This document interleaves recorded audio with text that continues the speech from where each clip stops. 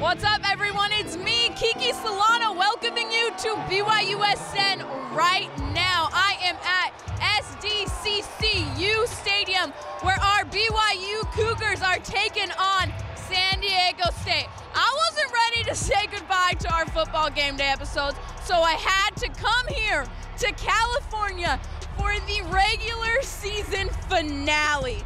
Couple of things to note going into this game.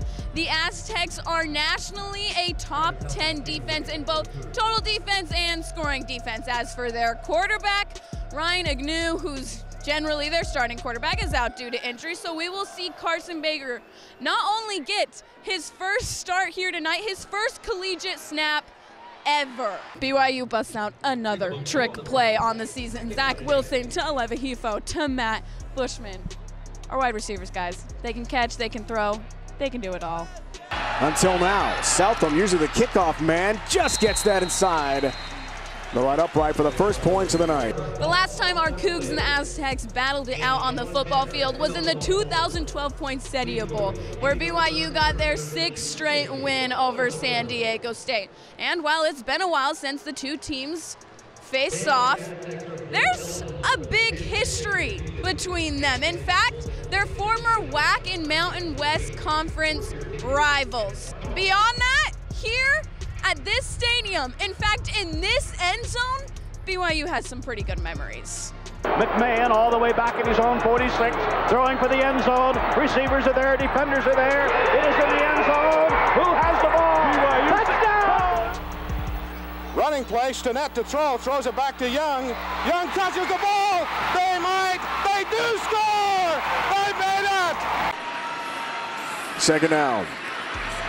Baker throws right on cue. Touchdown, San Diego State to Bellinger. It's halftime, and San Diego State leads our Cougs seven to three. It's been a pretty low-scoring game, obviously, but we still have a whole nother half to play. So hopefully our boys put some more points on the board in the second half. As for some of our other Cougs, BYU men's basketball took down Montana Tech tonight.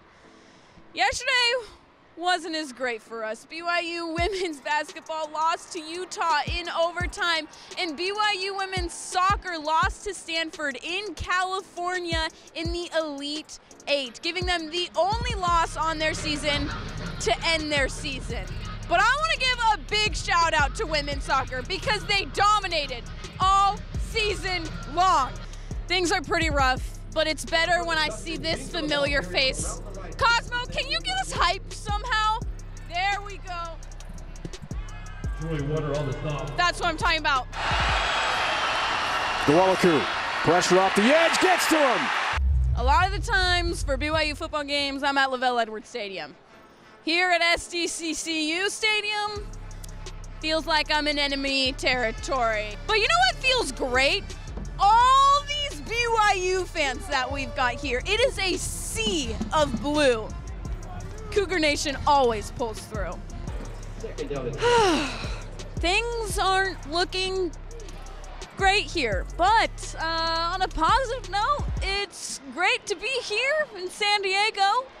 A lot better weather than in Utah, and let me say, I got here last night. It's a good place to be. What's not to love? Right on the water, this beautiful boat. Can we get on the boat? I can't get on the? No?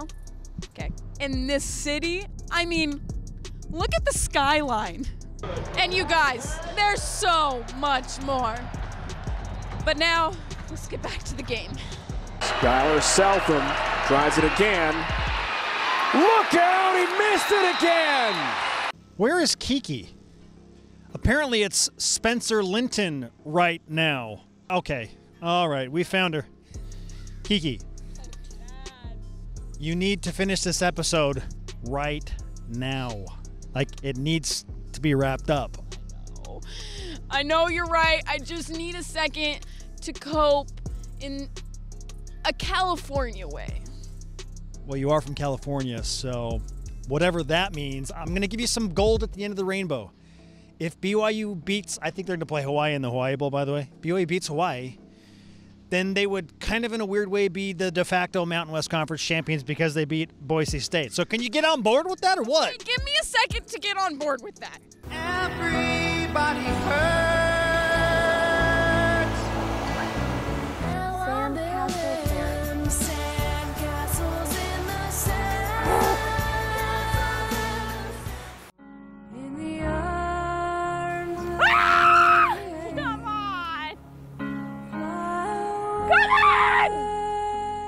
That didn't um, quite help like I thought it would, but it's okay. Spencer's right. We still got the bowl game. This is a big wave.